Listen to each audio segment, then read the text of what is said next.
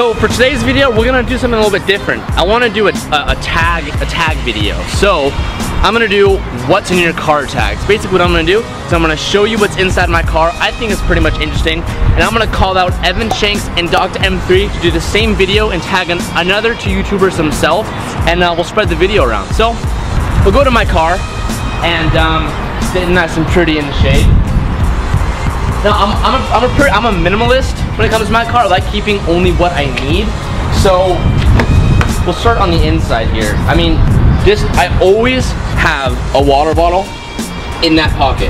At all times, I will always have a water bottle in there. I like to stay hydrated, and it's it's just, it's a good it's a good little emergency water.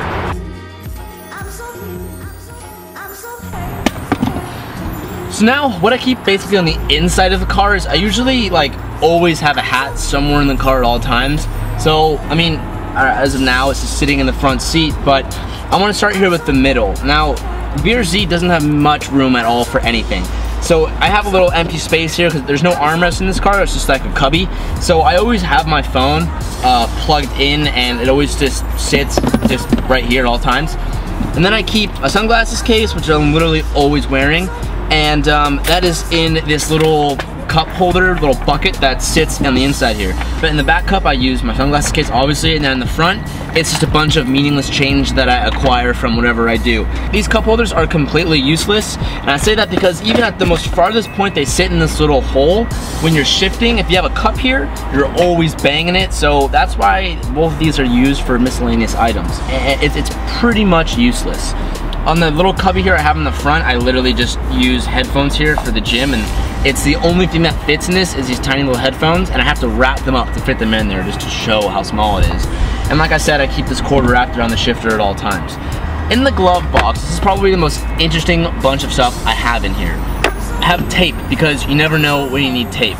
So, I mean, that's just sitting in there. Got this little phone mount. It was like a $2 mount off of Amazon. Does it work? Kind of. It's kind of gotten worse than it used to be. Um, it used to hold my phone and it, it, it doesn't really hold it anymore, so it, it's kind of it's kind of shit. I keep a little felt squeegee in here. I don't know why this is in here, but I feel like at one point in time, this will come to use. I keep an inhaler in here because asthma, my little thing for my nuts in case I ever need to take the, the, the wheels off for any reason, that's just a good place to keep it. And then it's this miscellaneous registration and, and proof of insurance and crap like that. So now we're gonna move to the inside of the trunk. This is where I think the most interesting pocket of the car is. I mean, it's, it's all right, let's take a look. So on the inside here, I pretty much always keep my camera right here. A lot of time it's not sitting like in my house. I kind of keep it in my car, which is a terrible habit. I recommend this to nobody, but that's just kind of what happens for me. So I have a camera bag here and a lens, probably should throw that in there. So, I mean, this camera bag, followed by that, camera equipment, so I got my slider here. Of course, always gotta have the tripod at all times, that's always sitting in there. And then I keep a jacket. This is like a rain jacket, so if it's like, it's a windbreaker slash rain jacket, so when I'm filming, I can throw this on at any time. And it's always good to keep a spare jacket in the car, so.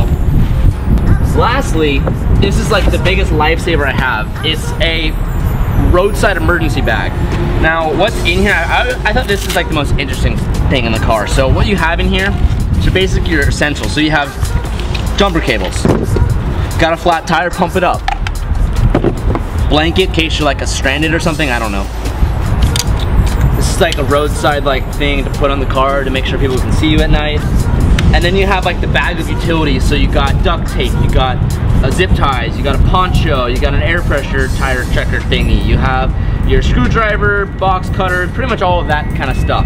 And I usually have like I usually keep um, like a like a doomsday package in here that has like rations and bottles of water in there. For whatever reason, that's not in there. So if I get pulled over or, or if I go off a cliff or something happens and, and I'm stranded, I'm probably gonna die now because that's not in there. But guys, that's what I keep in my car. Now again, I'm calling out Evan Shanks and Dr. M3 to pick a car and show us what we have inside of it. And until next time guys, peace out totally had no idea that this tape and this squeegee was in here. When the last time you looked in your fucking glove? That would these two things would have came in really handy in the past like two weeks. Yeah, man, they would have. Probably should have looked in there. I've been looking for this for like weeks.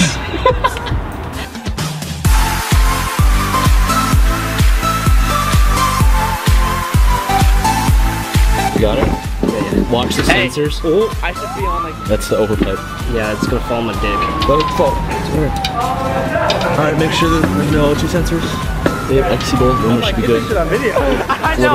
I was like, I was like, wait. Oh, oh, oh, oh, That's all of it. That's all of it. You got